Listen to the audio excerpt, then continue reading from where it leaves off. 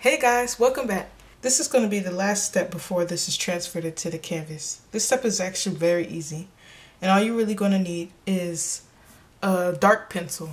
Now this can be a 8B, the darker the better. If you don't have a dark pencil, you could just use a regular pencil. However, it's a lot better if you use a darker pencil. Or you can use graphite, even charcoal. What you're going to do is you're going to take your image, and this is one big paper I filled with in half, but you're going to turn it upside down. You're going to look very closely. If you look closer, you can see the indents where the lines are.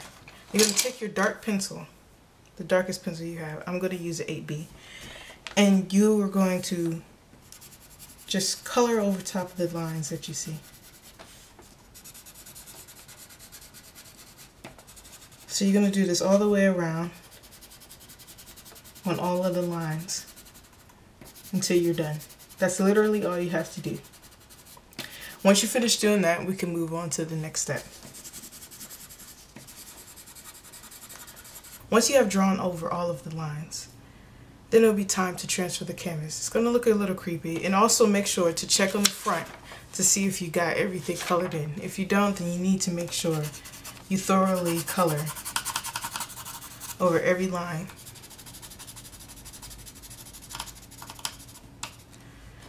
Alright, after you've done that, you're to get your canvas. I'm to use an, an 11 by 14 canvas. You're to place it over top of your canvas. I'm to put mine in the middle. And then you're to trace over every line that you drew with any type of pen, pencil, whatever you want.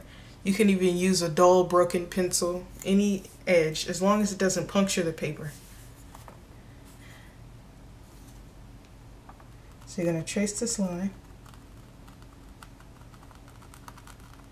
Make sure you trace every line.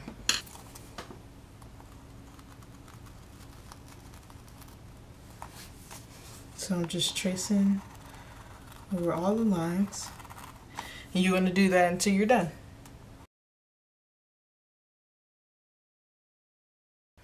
Once you think you're done tracing, you can remove the paper.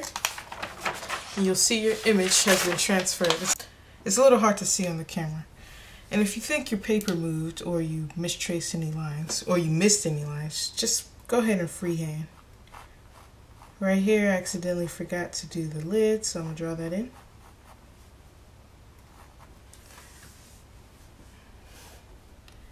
And this is a little off. I'm to fix this.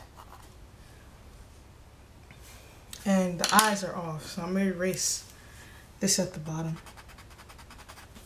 and I'll fix the eye.